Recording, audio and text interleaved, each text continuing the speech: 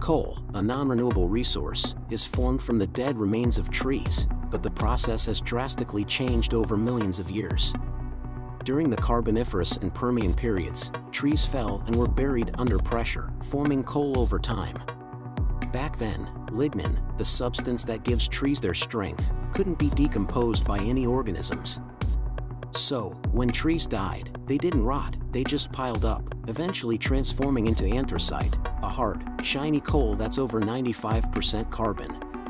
Fast forward to today, and the game has changed. Now, when a tree dies, it's likely to decay long before it's buried. Peat forms in wet areas, but it doesn't create anthracite. Instead, we get lignite, which is only about 75% carbon and burns poorly. Interestingly, some fungi and bacteria have evolved to break down lignin.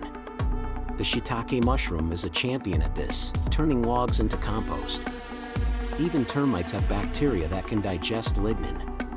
Nowadays, trees are more likely to become a meal for beavers, moose, or deer before they ever get the chance to become coal.